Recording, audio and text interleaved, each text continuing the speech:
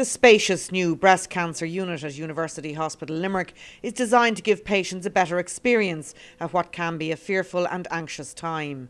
All aspects of breast cancer care, including triple assessment, reconstruction surgery, oncology and radiotherapy, as well as ultrasound and mammography units, will be housed here, as well as the new generation of 3D mammography, the first in a public hospital anywhere in the country. There's also a quiet room for patients to speak privately with their doctor at the time of diagnosis. For breast cancer survivor Helen Leo from Nenagh, it's a far cry from the cramped prefab units of the past where services were spread across the hospital campus. I just can't believe it's so bright.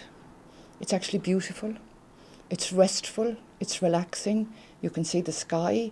You can actually see green trees. It's lovely. There were 206 new cases of breast cancer in the Midwest last year, and over 6,000 attended at the clinic.